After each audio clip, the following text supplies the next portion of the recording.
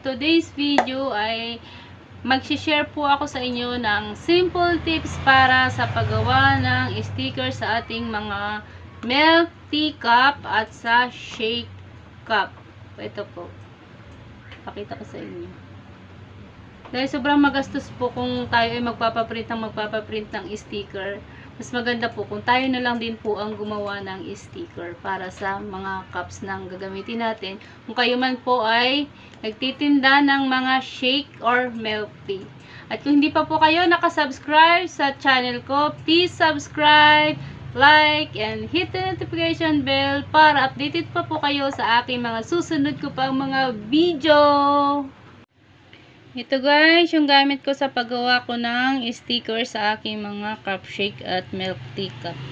Ito po. Portable printer, Bluetooth portable printer. Kung gusto niyo pong bumili ng ano ng product na ito, nasa description box ko po yung ano niya, yung link niya. Pindutin niyo lang po yun, makikita niyo na po itong product na ito. At saka po Android phone. Hindi na po kasama yan sa bilihan ng portable printer yung Android phone. Ayan. I-install nyo po yung ano, i-download nyo po yung ano nito, yung yung model niya. Dito po sa Android phone. Ito na po siya. Ganyan po ang itsura niya. Ganyan guys ang itsura niya. oh. Bluetooth print. Bluetooth printer. May dapat po naka-ano na siya, naka-download siya dyan. Ayan, simulan na natin. Pindutin po natin yan. Nakakonect na po yan sa Bluetooth. Tapos, ito po, open po natin. Ito, kailangan po dapat ito, eh, ano, full charge. Para maganda yung printer niya. Maganda po siya kasi hindi na siya nilalagyan ng ink. Kahit ano siya, unlimited print siya. Kahit sobrang dami yung piniprint. Maganda rin ito sa pag ano ng, ano, ng resibo. Sa pag-issue ng resibo sa ating mga customer. Pag binili niyo po yan, may kasama na po siyang ganito. 2,500 ata bili ko dito. 2,500 mayroon ng anim na ganito at saka resibo. Ito, sim- simulan na po natin. Ayan, ito na po yung mga nagawa ko eh, yung tatlo na yan. Sinisave ko siya para pag ano, print lang ako ng print. Ito, pindutin po natin yung plus sign. Yung plus.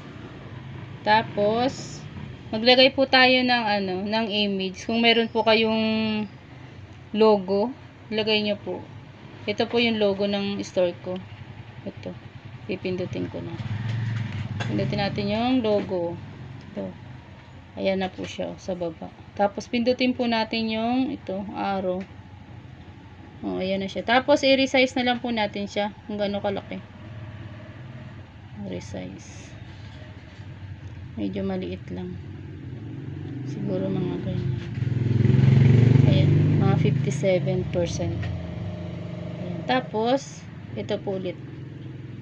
Araw ulit. Ayan na yung ginawa ko. Ayan.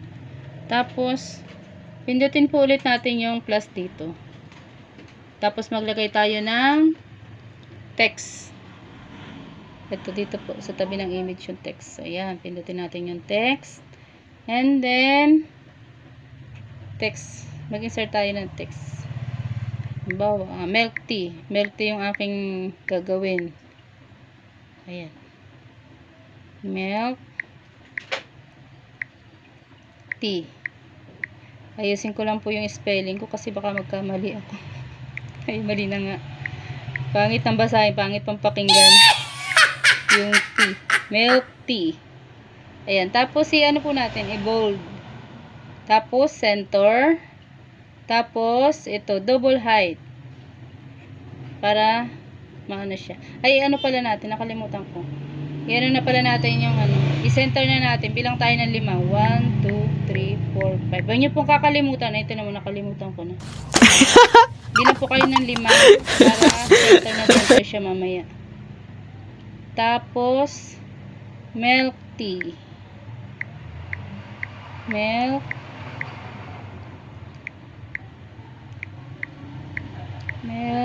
tea.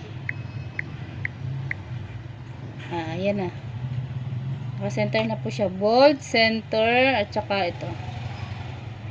Double height. Tapos, pindutin po natin ito. Yung. O, ayan. Ka-center na po siya. Tapos, mag-add po ulit tayo ng text.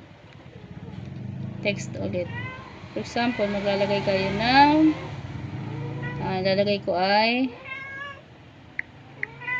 Thank you. Thank you. Bye again. Thank you, bye again. Yan, tapos lalagyan ko ng ganun na yan. Ay, ito na muna, kalimutan ko yung bilang. 1, 2, 3, 4, 5. Ayan, para center po siya. Ulitin natin. Thank you. Thank you. Bye again. Bye.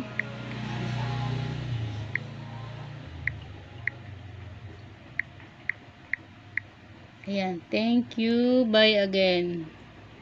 Tapos lagyan po natin ng gaunay. Ayan. Tapos pindutin po natin yung taas. Yung check sa taas. O, ayan na po siya. Normal size lang siya. Tapos, kung may dadagdag pa po kayo na ano, mga text na kung ano-ano pa dyan, pindutin nyo lang po itong plus. Tapos text. Ayan na po. Huwag lang po kayo magkakamali pag pindot ng lima bago kayo mag-text para center na center po siya. Tapos po, pindutin po natin itong ayan, naka-okay na po yung ano natin, yung printer natin nakauna siya. Tapos nakaset na yung ano niya yung ito, itong sticker. Ayan, pindutin po natin itong printer. Printer. Tapos yung ito po. Yung per devices. M MTP MTP2 ito po.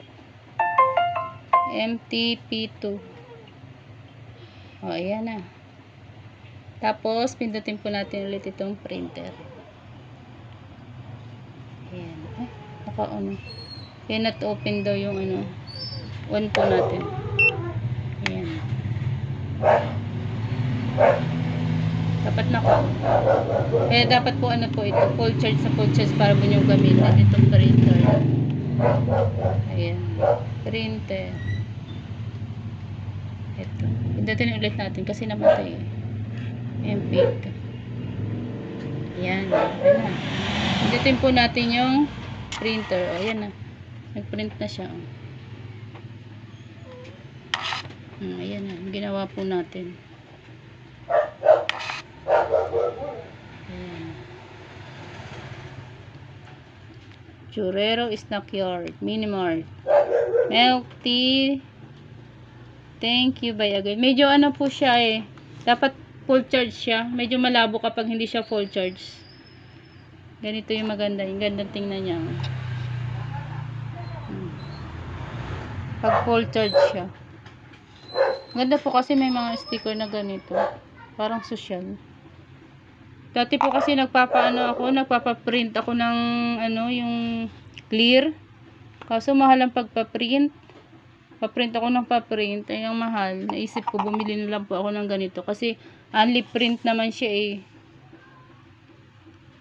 Hindi siya na, hindi, wala na siyang ano, wala na siyang ink.